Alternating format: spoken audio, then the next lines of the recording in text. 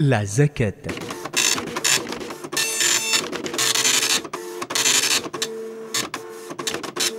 Les objectifs de la zakat. Allah prescrit aux musulmans de donner la zakat, ceci pour des objectifs sages dont nous citons quelques-uns.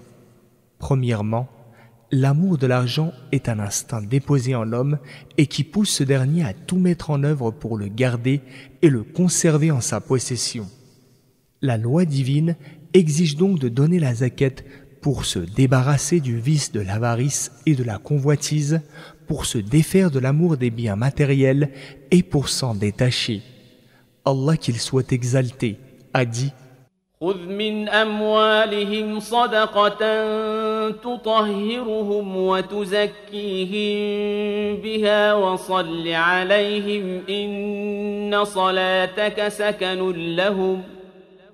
Prélève de leurs biens une aumône par laquelle tu les purifies et les bénis.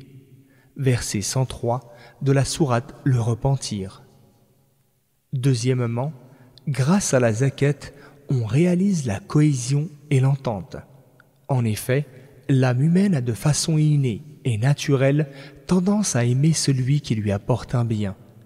De cette manière, les membres de la société musulmane vivent en étant attachés les uns aux autres et solidaires comme une construction compacte, massive, sans faille, dont les parties se renforcent et se soutiennent mutuellement.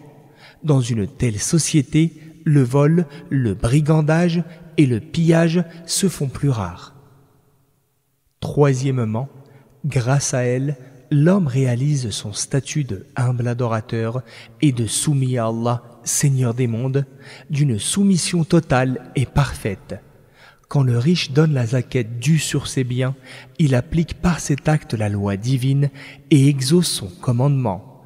En la donnant, on remercie le donateur pour le bienfait qu'il a donné, c'est-à-dire la richesse, وإذ تأذن ربكم لئن شكرتم لأزيدنكم ولئن كفرتم إن عذابي لشديد Si vous vous montrez reconnaissant, alors certainement je vous rajouterai des bienfaits.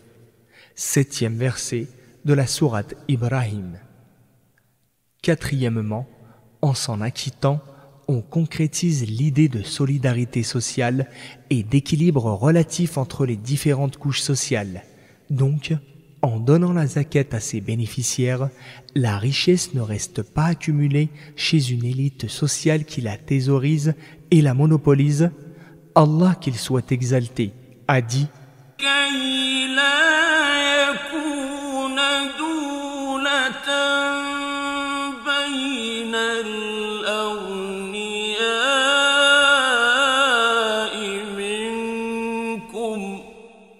afin que cela, la richesse, ne circule pas uniquement entre vos riches.